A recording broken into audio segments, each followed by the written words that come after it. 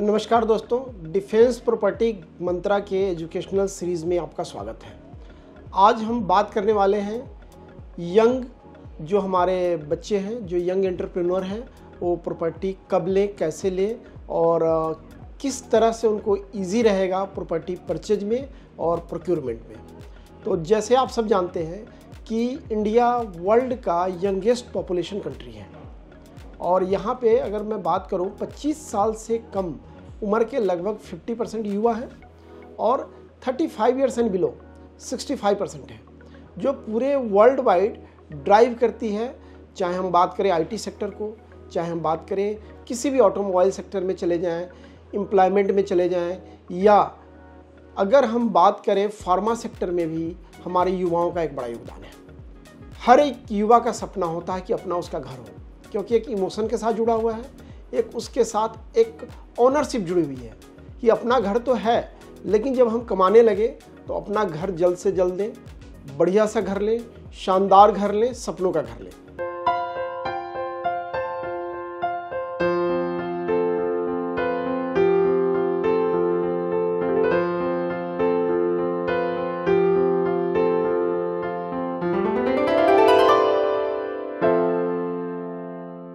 हमारे चैनल से युवा बहुत जुड़ रहे हैं और उनके सवाल आते हैं, जिनका हम कोशिश करते हैं कि अगली वीडियो में जो हमारा हो प्रॉपर्टी मंत्रा का डिफेंस प्रॉपर्टी मंत्रा का, उसमें आपका जवाब दे। और आप जिस तरह से हमारे साथ जुड़ रहे हैं, आपका प्यार जुड़ रहा है, आगे हम नए नए टॉपिक पे प्रॉपर्टी संबंधी बातों पे वीडियो लेके आते रहेंगे।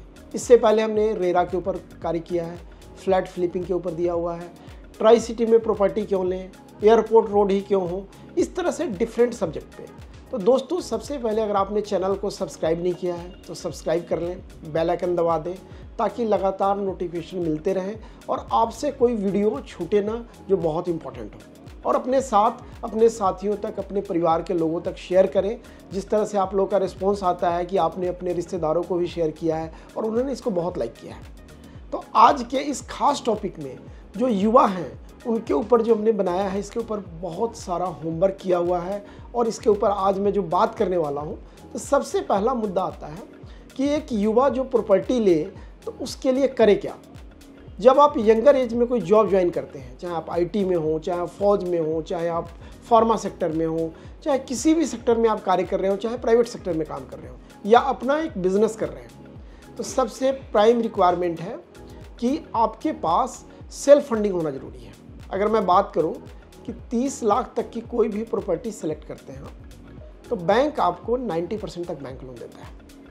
अगर 30 लाख के ऊपर होती है वैल्यू तो बैंक आपको 80 परसेंट देता है और 20 परसेंट सेल्फ फंडिंग चाहिए। यहाँ पे एक समस्या आती है, जो कई लोगों का एक मेरे पास भी आते हैं, मिलते हैं, ये स्पेशली यंग और यूथ तो उनका एक विज़न होता है कि चलो मैंने प्रॉपर्टी तो सेलेक्ट कर ली, मेरे पास दो तीन लाख रुपया है अगर पचास लाख की प्रॉपर्टी है तो एवरेज उनके पास दस लाख सेल्फ फंडिंग होना चाहिए।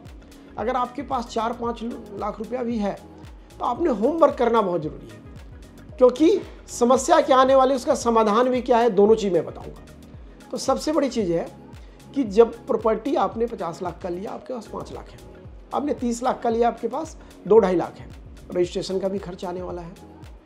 कई मेंटेनेंस चार्जेज भी आता है। आप घर लेते हैं तो उसके अंदर कुछ आप एड ऑन फीचर्स भी एड ऑन कराते हैं। तो आपके पास उसके लिए पैसा होना ज़रूरी है। मैं मैक्सिमम बच्चों को देखता हूँ, जब वो आते हैं तो कहते हैं कि मैं अपने चाचा से ले लूँगा अंकल से ले लूँगा फ्रेंड से ले लूँगा। लेकिन उनको नहीं पता कि उनको दो तरह से ब्याज देना है। या पैसा रिटर्न करना है। एक तो बैंक का करना है। दूसरा पैसा अपने उन रिश्तेदारों को देना या फ्रेंड सर्कल में देना है, कई बार ब्याज भी देना है, जो ज़्यादा होता है। तो बैंक का ब्याज तो आपको साढ़े आठ नौ परसेंट जो भी फिक्स रेट है उस पर होता है।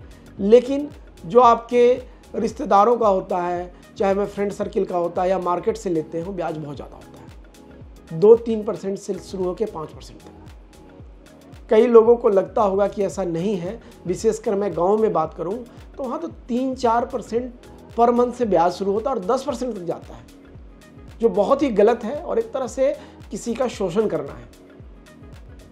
तो मैं चाहूँगा कि आप लोग कमेंट करें, जो जो लोग अवगत हैं कि इस तरह का ब्याज चलता है और जिनको नहीं वो भी बताएँ, ताकि बाकी लोगों से उनको जानकारी मिले और वो इस तरह के परेशानियों में ना पड़े।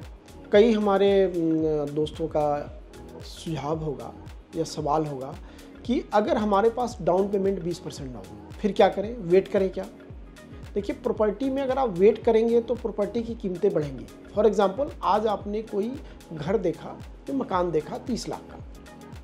आप सोचेंगे कि पहले मैं जमा कर लूँ छः लाख रुपये और पाँच साल बाद, पाँच साल में मैंने जमा कर लिया थोड़ा थोड़ा करके, मैं ख़रीदने जाऊँगा। तो एवरेज मैं लेता हूँ एक फिगर दस परसेंट। कि अगर दस परसेंट से भी मल्टीप्लाई करता है पर्टिकुलर जो भी प्रॉपर्टी है तो तीस लाख की अगले साल तैंतीस लाख की होगी। पाँच सालों में लगभग अड़तालीस से पचास लाख की वैल्यू होगी। तो जो छः लाख का फिगर आपने बनाया था कि छः लाख डाउन पेमेंट होगा, चौबीस लाख का लोन लूँगा, अब वो लगभग दस लाख का डाउन पेमेंट हो जाएगा और लोन की भी वैल्यू बढ़ जाएगी। अब करें क्या?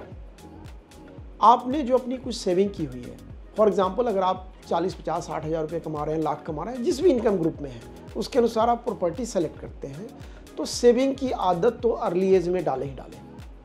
अगर आपको घर खरीदना है तो सेविंग की आदत आपकी होनी चाहिए। आप जो भी आ, हम बात करें जिसको एक्स्ट्रा फालतू खर्च करते हैं उसके ऊपर आपको अंकुश लगाना पड़ेगा थोड़ा सा कंट्रोल करना पड़ेगा तब आप घर अपना सही समय पे अर्ली एज में बना पाएँगे। दूसरी बात है कई डिपार्टमेंट अगर आप गवर्नमेंट डिपार्टमेंट हैं में हैं तो वहाँ से भी लोन मिल जाता है।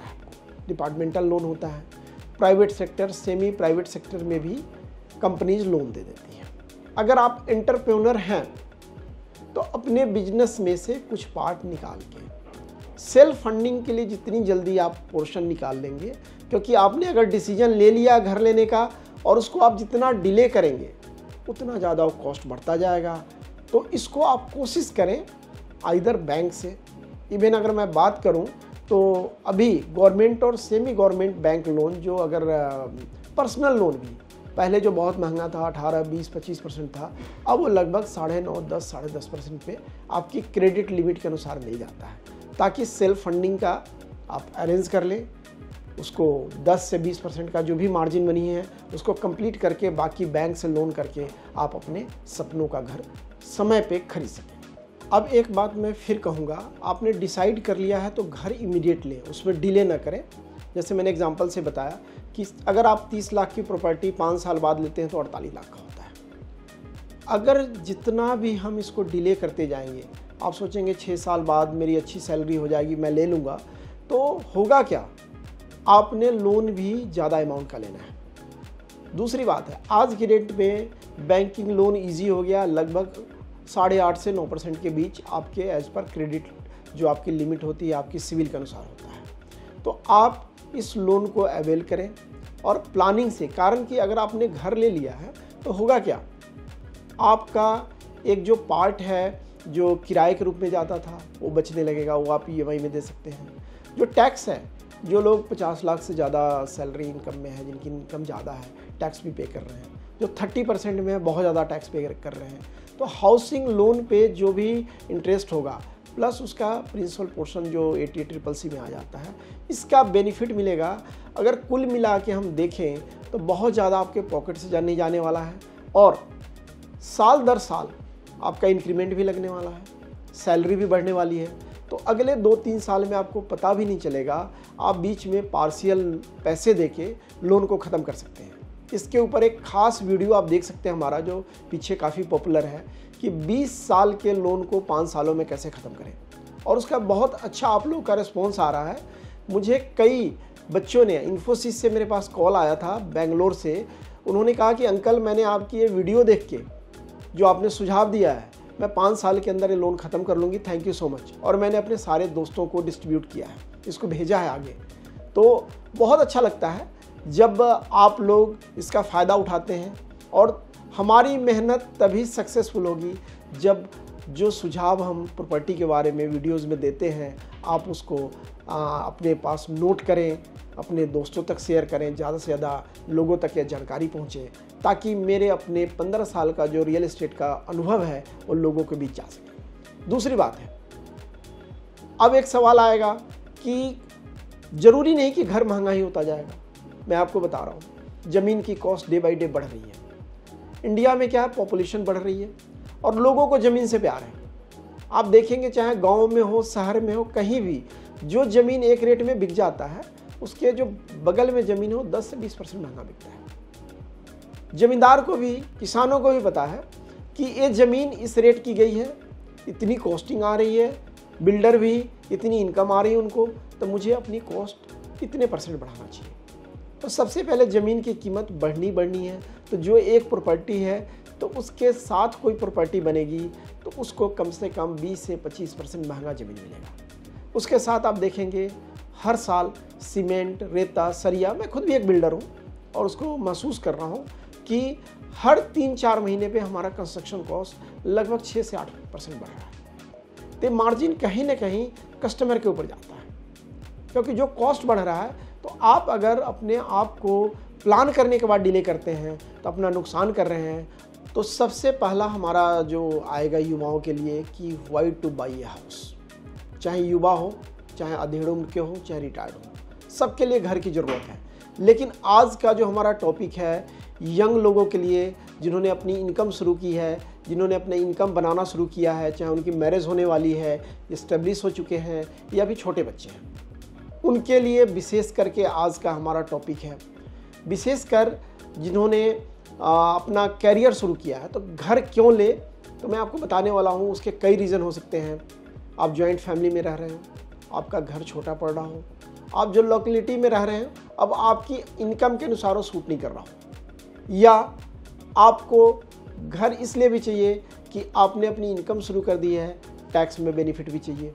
तो इन सब कारणों के कारण एक यंग और जो एंटरप्रेन्योर हो, चाहे सर्विस में हो, घर लेना चाहता है। और इसी बात को हम, इस पर हम चर्चा करने वाले हैं और आपको बहुत सारे टिप्स देने वाले हैं कि आप घर लें, उसमें क्या क्या ध्यान रखें ताकि आपको असुविधा ना हो फाइनेंशियली क्राइसिस ना हो और आप स्ट्रेस फ्री जिसको हम तनाव रहित आप घर ले सकें और उस घर की किस्त को या उसके पैसे को चुका सकें।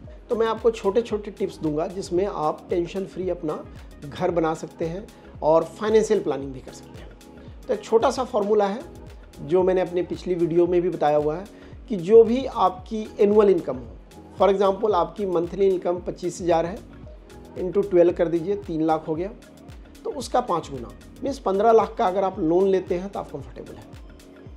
दूसरी बात है, अगर आपकी इनकम पचास हज़ार है तो छः लाख एनुअल इनकम हो गई मंथली इनकम पचास हज़ार है एनुअल इनकम छः लाख हो गई और उसका हम पाँच गुना करते हैं तो तीस लाख। अब इसको कैलकुलेट करिएगा अगर आपने तीस लाख का लोन लिया तो लगभग छब्बीस सत्ताईस हज़ार उसकी किस्त बनती है।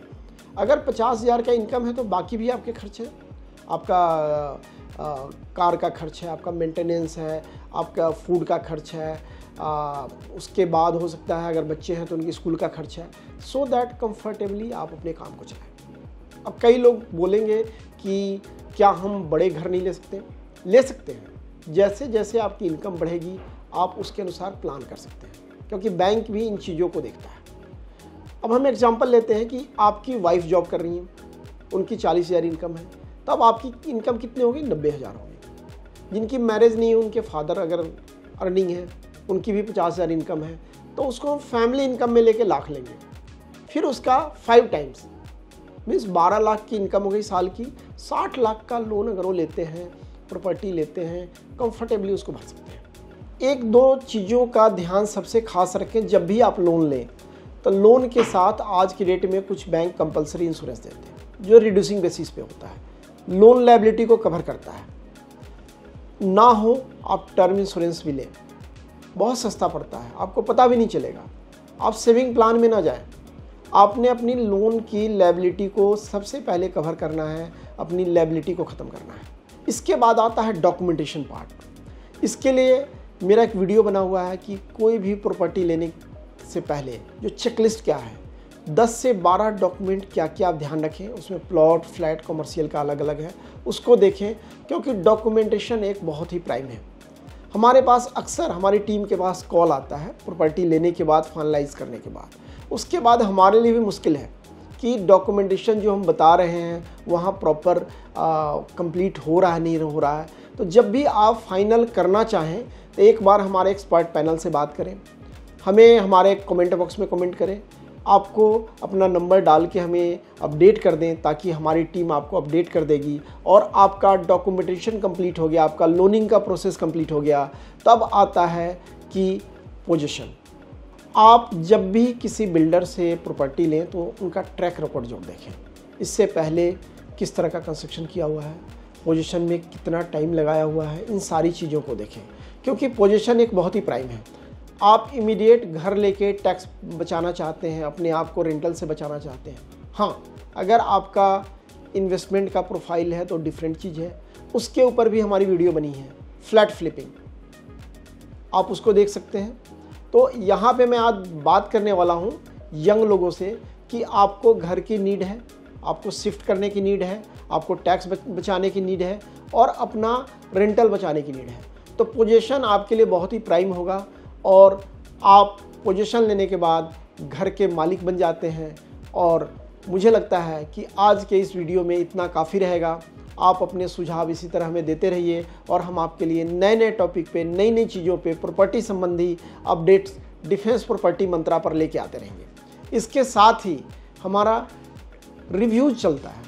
हमारी जो टीम है, वो प्रोडक्ट्स को रिव्यू करती है प्रोजेक्ट को रिव्यू करती है एरिया को रिव्यूज़ करती है, जो हम मंथ में एक से दो बार हम वीडियो डालते ही डालते हैं। इसके अलावा मेरा खुद का वायुसेना का बैकग्राउंड है, बीस साल वायु सेना में काम किया है। नेशनल एक्स सर्विसमैन का प्रेसिडेंट हूँ डिफेंस सिलेटर ग्रुप का मैनेजिंग डायरेक्टर हूँ। तो मेरा भी फ़र्ज़ बनता है कि डिफेंस पर्सनल जो रिटायर्ड हैं सर्विंग के, उनके वेलफेयर के लिए कुछ काम करूँ। तो उसके ऊपर बहुत सारे हमारे सर्विंग रिटायर्ड दोस्तों के सुझाव पे हमने डिफेंस वेलफेयर न्यूज़ शुरू किया है, जिसमें पहला हमारा एपिसोड ऑलरेडी आ चुका है, जो आप लोगों ने बहुत पसंद किया है। और आने वाले टाइम में इसी तरह के नए नए मुद्दे डिफेंस वेलफेयर न्यूज़ पे हम लेके आते रहेंगे। तो डिफेंस लेटर ग्रुप की तरफ़ से डिफेंस प्रॉपर्टी मंत्रा की तरफ़ से डिफेंस वेलफेयर न्यूज़ की तरफ़ से बहुत बहुत धन्यवाद, आभार। इसी तरह अपना प्यार, साथ, सहयोग बनाए रखिए। धन्यवाद।